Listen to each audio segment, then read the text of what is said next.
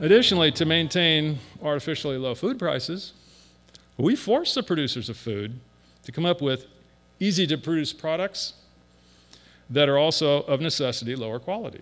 That's, that's just that's the impetus that drives uh, competition in the marketplace. In today's world, higher productivity with lower cost means mechanization.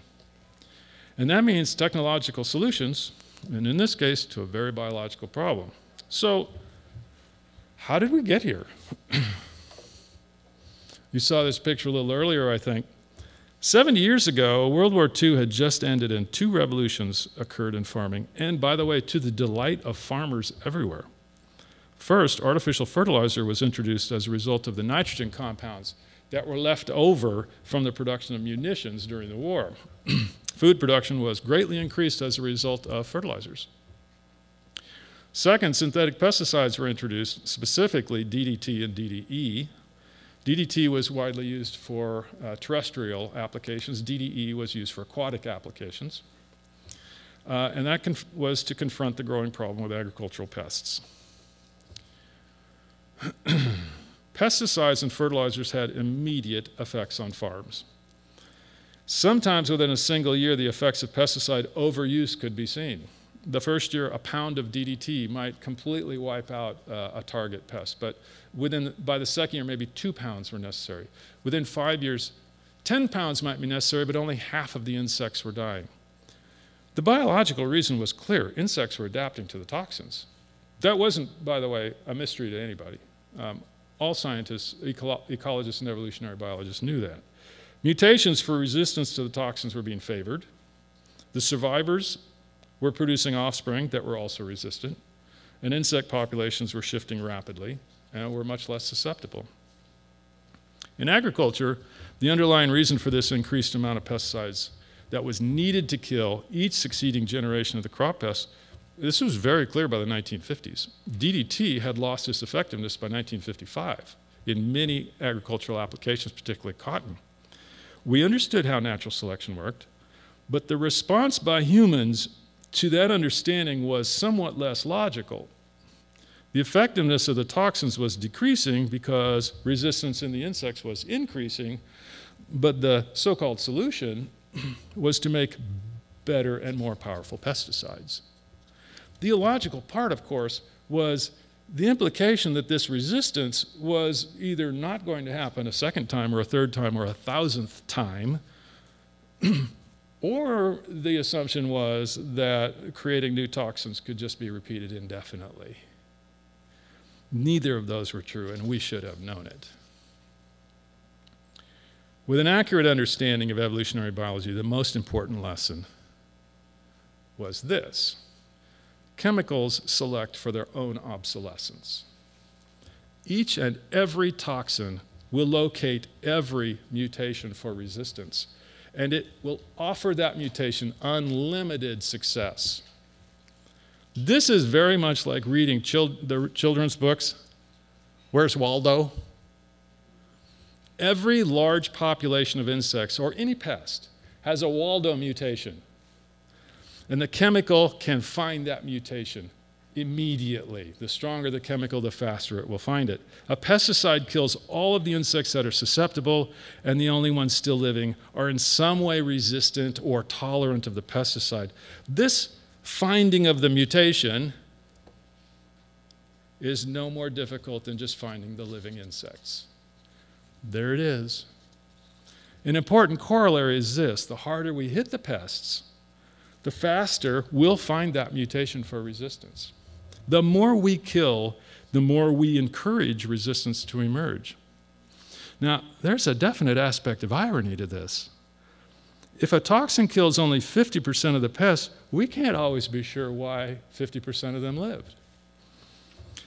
There could be a lot of different reasons when half of them survive. Their offspring may or may not be resistant to the herbicide or pesticide or insecticide. But if 99.999% of them die, the survivors are alive for only one reason.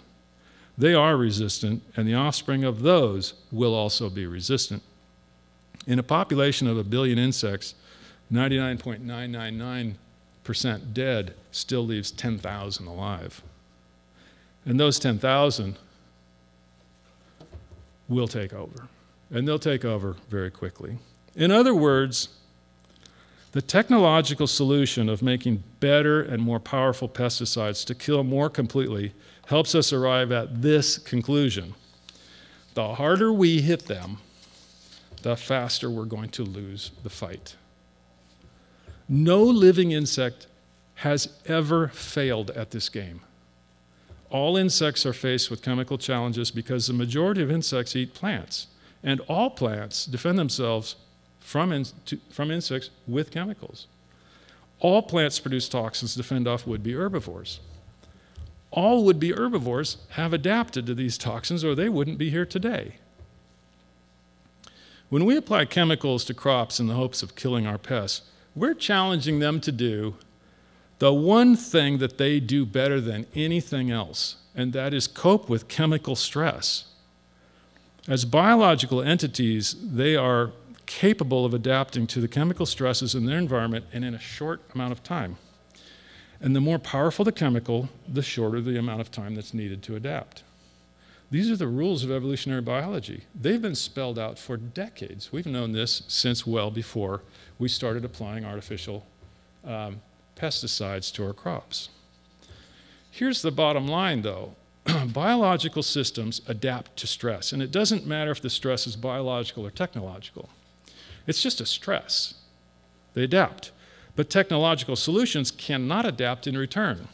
They're fixed, they're not living. They do not respond to changes in the environment. And modern agriculture has attempted to convert food production to a technological process. But growing food remains a biological process. We're attempting to solve the biological problem of food production by applying technological solutions. The pests that bedevil farmers are biological problems. They can adapt to the technology, but the technology cannot adapt to them. As each technological tool fails, it must be replaced with another newer technological fix, and by the way, that one will fail also. This is the technological treadmill. Farmers are caught on this treadmill, but for them it's called a chemical treadmill, chemical solution treadmill. They're dependent on the cleverness of the tech world to solve their problems because the modern farm has been so damaged by chemicals um, that it's lost the ability to respond on its own. The soils are nearly dead or with very low biological diversity. Helpful insects like ladybugs and insect eating birds are gone because of toxicity in the environment or just loss of habitat in general.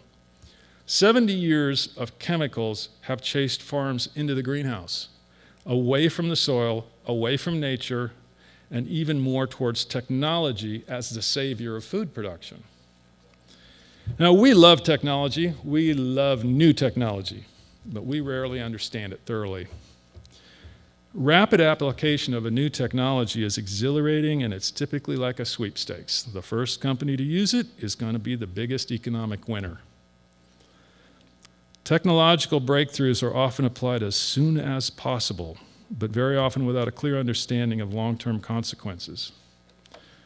There's a term for one action that causes many effects, and that's pleiotropy in the genetic world. When one gene is influenced, but a multitude of effects uh, uh occur as a response to that manipulation, that's pleiotropy. Over time, with technology, we learned that there are um, often secondary effects or indirect effects or just plain unpredictable effects that result from the technologies. We often make initial assumptions about the impact of technologies that laid out to be, turn out to be pretty simplistic, naive, uh, or just plain poorly thought out. The consequences of DDT on the environment. Great example. For a temporary reduction in pest abundance, we were also rewarded with pesticide resistance, ecosystem collapse through the loss of beneficial species, magnification of DDT up the food chain, and long lasting deleterious effects of the environment overall. And biotechnology is the latest technological toy.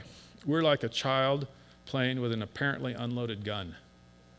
We have discovered how to genetically modify an organism with the intent of improving some single aspect of it but we're applying that technology to a very complex biological system.